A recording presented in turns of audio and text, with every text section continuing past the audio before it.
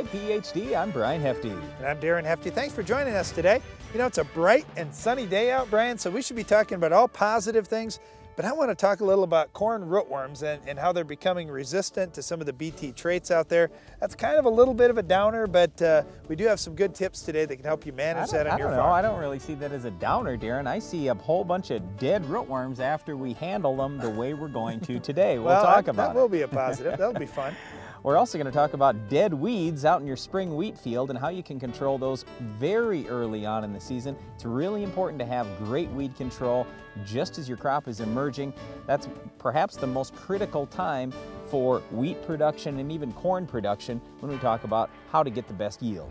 We've also got a really fun to talk about weed of the week because there's something unique about this plant that uh, once you know it, you will be able to identify this plant so easily on your farm and hopefully control it as well. But first, here's this week's Farm Basics. Farm Basics is brought to you by the Liberty Link trait and Liberty herbicide from Bayer. The most reliable weed management solution, Liberty Link and Liberty herbicide are the link to efficient row crop production and sustainable weed management. During our Farm Basics time today, we're going to talk a little about soil erosion and phosphorus loss. Okay, now when we talk about soil erosion, I, I, just want to get this out of the way right up front. Soil erosion has been so greatly reduced by today's farming practices in the United States.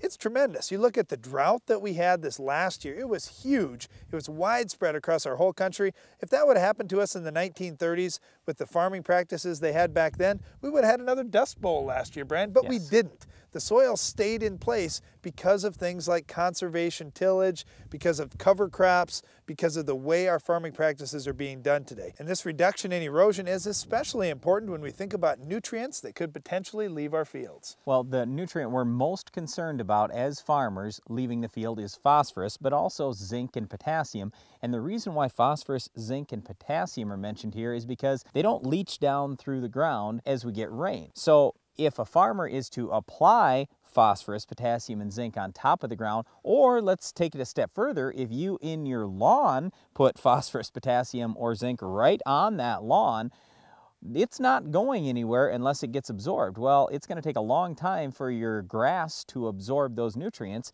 And what could happen is if you have a little bit of erosion, or let's just say you have a great big rain that comes along, that could wash some of those nutrients away, and that's a problem. And when it comes to these nutrients, what we're concerned about is when you see them show up in rivers, in streams, in lakes, these kind of places, because what we're worried about seeing is algae blooms. And when you see algae growth in these types of bodies of water, what the limiting factor normally is is phosphorus and as Brian mentioned that's one that doesn't move down through our yep. soil profile with rain if some of that phosphorus runs off that's where we see it now I will, I will say this there was a study done just a few years ago on the Mississippi River Basin, and they looked all the way up and down the Mississippi River at, at every farming county all the way along the way. They looked at how much phosphorus fertilizer farmers were applying versus how much phosphorus their crops were taking out of the ground and leaving the field with the grain and they found out that farmers weren't even putting on as much phosphorus as what their crops were removing. Well, it wasn't just that study. US, you can look at USDA numbers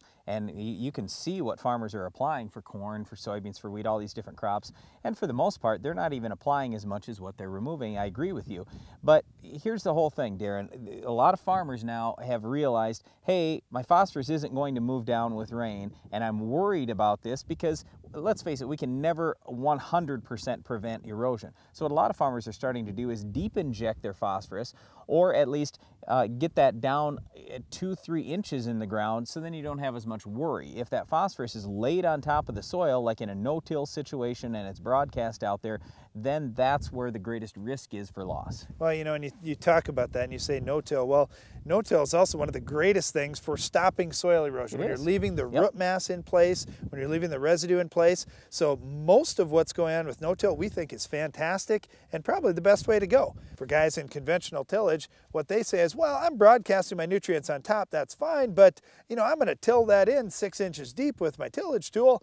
Well, really, you're only moving that nutrient down about two or three inches when you're tilling six inches deep. So we still have a lot of it really close to the surface. So we're not just saying, well, no-till's a bad guy or anything like that. All of our farming practices have to recognize that we need to place those nutrients deeper to be safer for our environment long term, and also we can get more out of it on a dry year. So once again, farmers are dramatically reducing soil erosion, but they're never going to 100% prevent soil erosion. So whether you're a farmer or you're just a person with a lawn, we just encourage you, make sure you're careful with the phosphorus you're using, especially around lakes, rivers, and streams. One other thing you'll want to watch out for is our weed of the week. Can you identify this week's weed? What's new for 2013? Challenge 2050. Challenge 2050 is a two-component system consisting of a nutrient and a biological additive. This groundbreaking fertilizer contains mycorrhizal fungi, which provide an extended transport system that allows water and nutrients to be delivered directly into the root. Challenge 2050 can increase yield and efficiency of your standard fertilizer program. Challenge 2050 is the future of fertilizer. Call TJ Technologies or your fertilizer dealer and get Challenge 2050 today. If you're a farmer or a rancher, I know you've worked darn hard at keeping that baby rolling. It's more than a balance sheet, it's a way of life. Hey, I'm Steve Azar, and I wrote and recorded the song American Farmer. Do you know what the purpose of a farm estate plan is? It helps avoid or minimize federal estate taxes, and it helps preserve your wealth and pass the family farm on to the next generation. Call the good people at Swenson's. They care, and they can help. Today's Case IH equipment is packed with industry leading technology, and Titan Machinery has the experts to make it perform to its maximum potential. We have a team of specialists and the entire Titan Machinery network to provide you with the expertise to keep up with today's advanced machines. Whether it be for your Case IH planters, sprayers, or precision farming equipment, our experts have the answers to get the most out of your equipment investment. Maximize your productivity with Titan Machinery. Better solutions. Your equipment's ready. The seed's in the barn. You have a strategy to overcome the challenges you'll face, and your crop protection products are pretty well locked in. But maybe you still haven't finalized your fertilizer plans. If not, visit agroliquid.com today. With products formulated for superior nutrient uptake, unsurpassed application flexibility, and proven by years of extensive research, this may be the season to take your yields to the next level using Agro-Culture liquid fertilizers. For years, FarmLogic has been the easiest and most convenient way to keep up with your farming operations. Well, it just got better. Introducing FarmPad for your phone. You always have your phone with you, so entering records as they happen is as easy as a touch of a button. Chemical database, GPS, service records, and more. When you do it on the farm, save it on your phone and it's backed up forever. Call or visit farmlogic.com for a free trial and find out why FarmLogic is the best decision tool for the farm.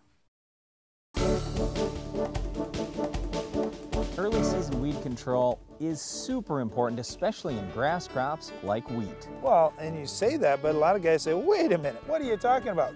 I, I, I control my grass, you know, oh, I don't know, and the wheat's up this big and I'm out spraying. Or for... my wheat's gonna choke out that grass because wheat is very vigorous early in the season and a lot of times it's a week or two before the foxtail gets started or wild oats. So hopefully my wheat will be strong enough to choke that out. I wanna do what I can do to stop weeds. And one thing you can certainly do in wheat for not very much money is control grasses. When we look at pre-emerge herbicides, I really like prepare early for grass control in wheat. And when it comes to broadleaves, we're worried about resistant weeds like kochia. Uh, across much of the country has been ALS resistant for many years, but now we're finding it to be Roundup resistant in many areas as well. We want to take that thing out early also. You could use something like Sharpen for great broadleaf control. Okay, you can use Sharpen, but here's what's going to hold a lot of guys back. If you use a couple ounces of Sharpen, yes, you're going to get some good residual and some tremendous burn down, but Sharpen has no activity on grass and it's going to cost about 10 bucks an acre for two ounces. Whereas Prepare will cost less than $5 an acre if you use the reduced rate 0.2 ounces per acre. And yeah, you're not going to get perfect control out of Prepare, but at least you're going to have some activity on a few broadleaves, and you're going to have lots of activity on many of the grasses, including wild oats. I'm going to stick up for Sharpen because here's what a lot of guys are saying, well,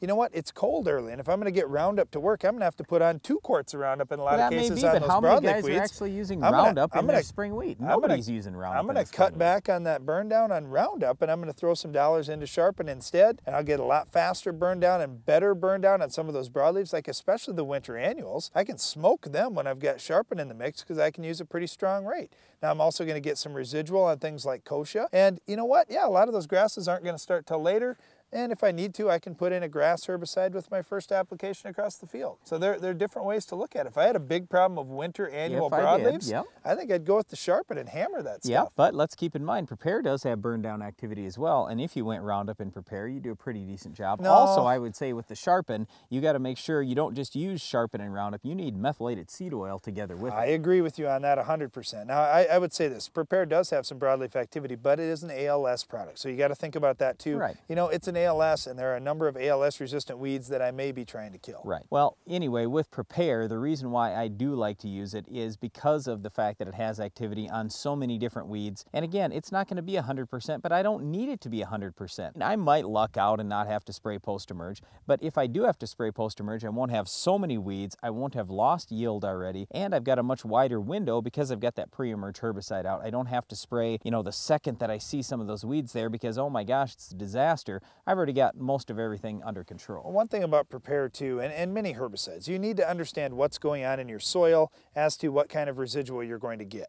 For example, with Prepare, it's an ALS herbicide, and when you have a high pH soil, we do really good even with a cut rate uh, when we've got high pH soils. When we get to real acid soils, like we've got in the Palouse out in the Pacific Northwest, we've got to use a little stronger rate to get that same activity. So by the same token, you say, well, what if I'm 0.3 ounces for a cost of around seven bucks. yeah, but what if I'm using that full rate in this high pH ground? What are my chances I could ding the crop a little Well, bit? you could, and that's the reason why we don't recommend 0.3 ounces very often if you're unsure of what your soil pH is. So the drawback is, yes, you're not going to have as much activity if, let's say, you did have a low pH and you went 0.2 ounces, but it's not the end of the world. So I guess I'd just be on the cautious side. If you don't know what your pH is, first of all, have your soil tested. It's not tough to test this, and it's pretty inexpensive. If your pH is above 7 and especially above 7.5, we absolutely recommend cutting the rate to 0.2 ounces. And again, the cost is under 5 bucks an acre.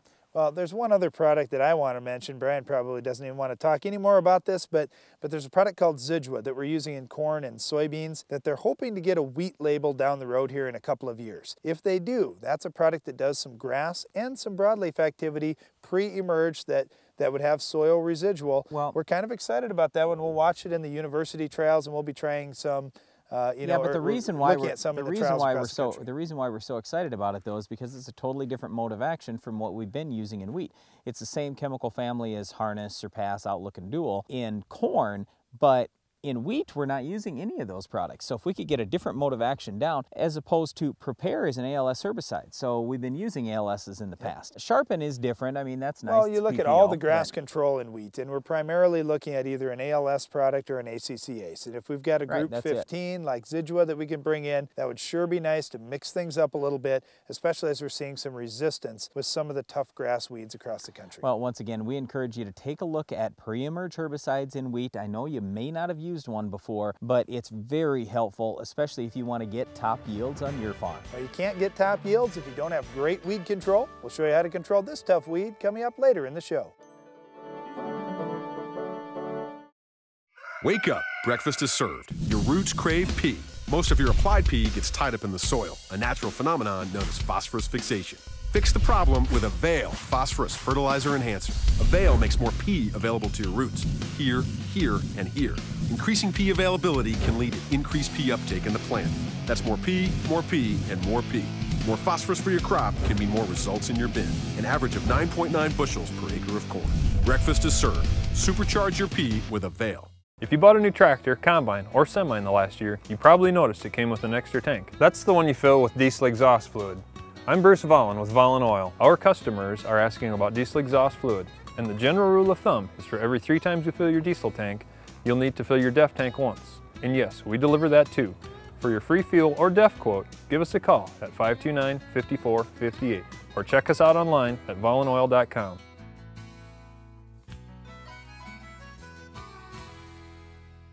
Speed, strength, and efficiency make Capello cornheads a head above the rest. Built with polymer components that exceed industry standards, Capello cornheads continue to push the boundaries for maximizing grain retention while using less energy. Visit CapelloUSA.com and learn more about Capello's state-of-the-art chopping technology that cuts cleaner, allowing your horsepower to remain where it belongs, with your combine, so you can harvest faster in all weather conditions. Add to that an amazing folding feature, and it's clear to see why Capello is ahead above the rest. What's new for 2013? Challenge 2050. Challenge 2050 is a two-component system consisting of a nutrient and a biological additive. This groundbreaking fertilizer contains mycorrhizal fungi, which provide an extended transport system that allows water and nutrients to be delivered directly into the root. Challenge 2050 can increase yield and efficiency of your standard fertilizer program. Challenge 2050 is the future of fertilizer. Call TJ Technologies or your fertilizer dealer and get Challenge 2050 today. There are more mouths to feed than ever before. What are farmers doing to meet the challenge? They're using agronomically designed equipment from Case IH. Our Quadtrac technology, soil management, and planting systems are designed to foster a better growing environment that helps farmers maximize yield potential. And our deep understanding of agriculture is preparing them for the challenges ahead. Will you be ready? I'm ready. Go to caseih.com to learn more.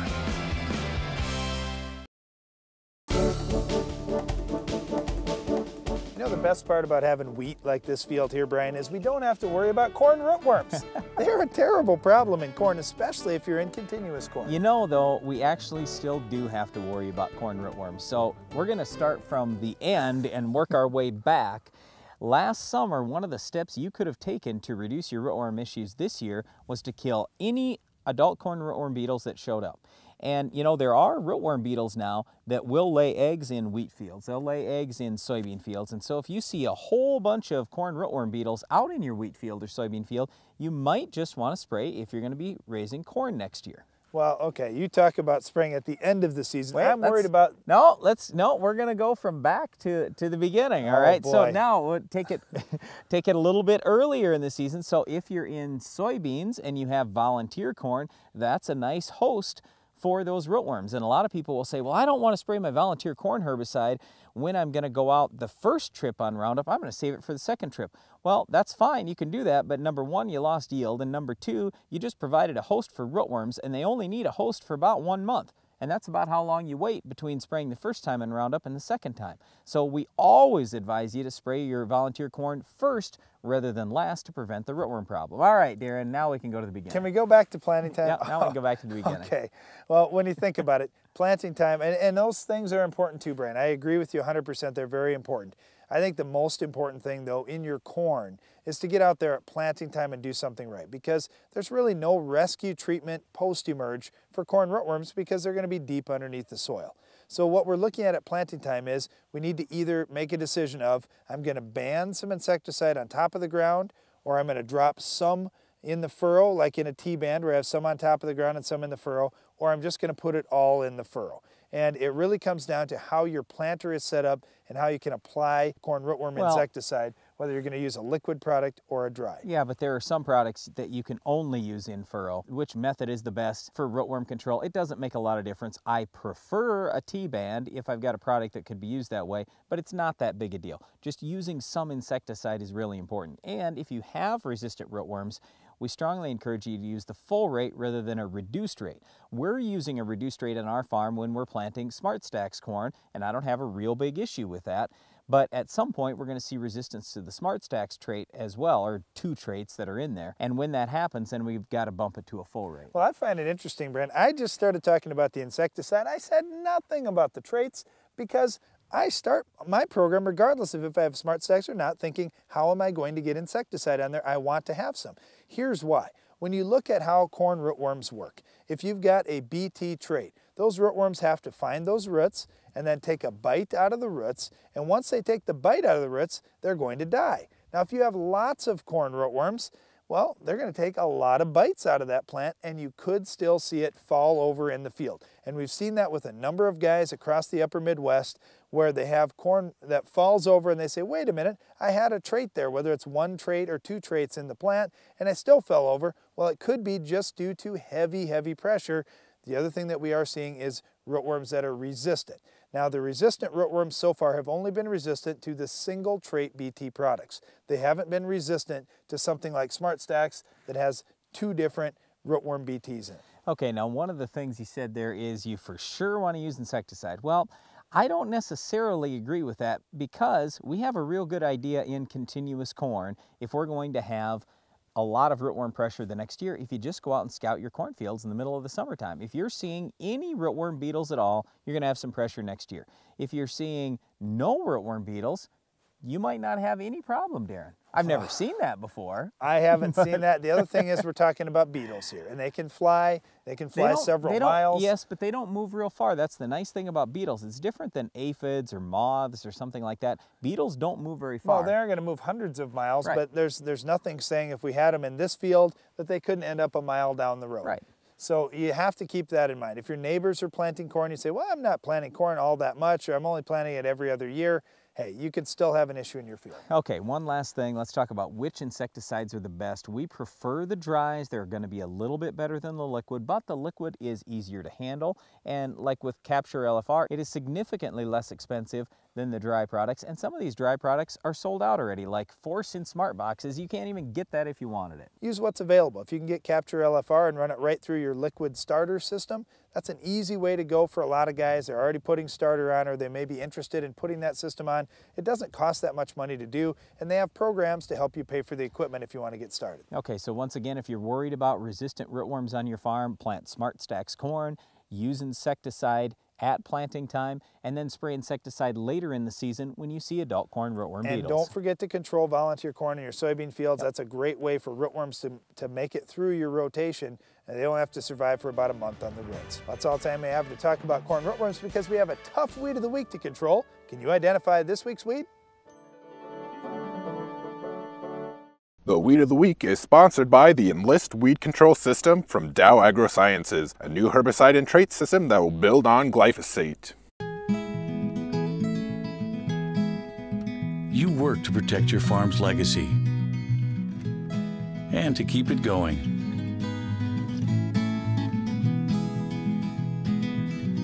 Introducing the Enlist Weed Control System, an advanced herbicide and trait system that will build on glyphosate for exceptional control of tough weeds. The next chapter begins.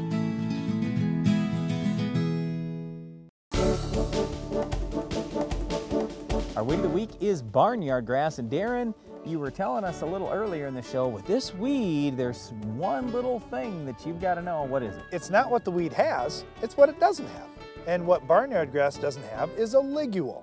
Now with most grass weeds, when you take the leaf blade and you bend it back away from the stalk, you can kind of look right on the top of it and you can see that ligule right where it hooks up with the stem.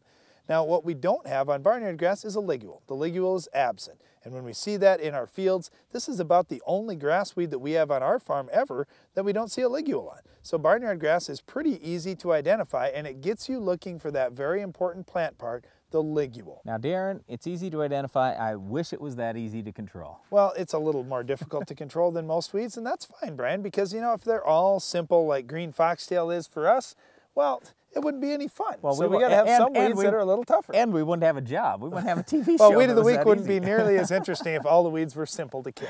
Okay, so here's what we want you to do. In soybeans, it's going to be relatively easy because soybeans are a broadleaf crop and this is a grass. Just start with Treflan, Sonalan, or Prowl, follow up with Select Max, bam, done. All right, let's Well, get to the tougher one. That's wonderful. But here's what I do. Now, when we talk about corn, you say it's tougher to kill in a grass crop. Yep. It's fine when we have options like Liberty and Roundup. So if you have corn that you can spray Liberty on or Roundup on, they really help out a lot because let's face it, accent wasn't that great on barnyard grass. And if we were going to get it, I mean, it would have to be so small. Yeah, but so the problem really like is having that. the problem is Roundup resistant barnyard grass. Then what? Well, then you're going to have to spray Liberty. That's about your only Or choice Accent. post-emerge. Eh, Yeah, you could do accent again, but again, you've got to be out there when that stuff is an inch tall or less to be real effective.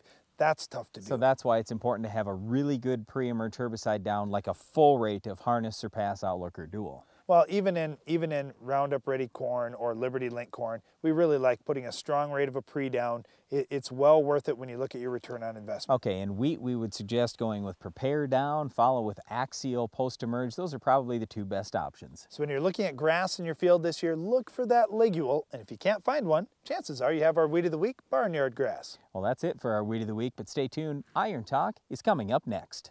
Iron Talk is brought to you by Case IH. What are farmers doing to feed the planet? They're using Quadtrac technology, soil management, and planting systems from Case IH to foster a better growing environment that maximizes yield potential. Visit caseih.com to be ready. If you want top yields, it starts with managing last year's crop residue and building this year's seedbed. I'll explain in today's Iron Talk. There are many adjustments to make on the planter. On our farm, we've done some no-till, some conventional till, and quite a bit of strip till. As you move from one field to the next, there's a big difference in the amount of residue from last year's crop left with each of these tillage systems. Here's the goal of your planter's residue managers for each tillage system. In conventional tillage, you're just trying to push the root balls and residue out of the way. As long as you're doing that, you're in great shape. Just make sure you're not creating a trench for a seed bed. We saw that last spring, and for the guys who had it, Many of them ended up replanting when heavy rains washed the seed away. In no-till, we typically see guys digging in a little deeper with the residue managers, especially if there's a crust or if they're in a heavy residue situation. That said, you don't want to move too much soil for fear of digging a trench, as we mentioned earlier. We're doing more strip tillage all the time on our farm, which certainly takes more time in the fall than the other tillage systems. The benefit is creating your seed bed on a nice berm in the fall. This way, in the spring, we're just sweeping the surface with our residue managers for any residue that may have blown over our strip since last fall. By properly setting your residue managers based on your tillage system and field conditions, you can achieve an even planting depth for all seeds in your field, giving you maximum yield potential on your farm. That's all for today's Iron Talk and now back to the show. For lower cost, higher production, Mandako Agri leads with versatility unmatched. Twister is the vertical tillage unit for no-till as well as conventional tillage. Twister's ease of maintenance is forgiving in rocks and has contour conformity equaling zero downtime. Our hydraulically adjusted coulter angles make residue management easier, less costly. Spring or fall, the Mandako Twister vertical tillage unit is the new leader. See your Mandako Agri dealer. Visit northcountrymarketing.biz or call. You expect a lot from this seed, and as it grows through each stage of development, Agro-Culture Liquid Fertilizers is there, feeding your crop exactly what it needs when it needs it. So, no matter how you fertilize, no matter when, Agro Liquid efficiently brings all the nutrients your crop needs for a great harvest. From one kernel in the ground to 600 on the ear. For better yields and better quality, Agro-Culture Liquid Fertilizers.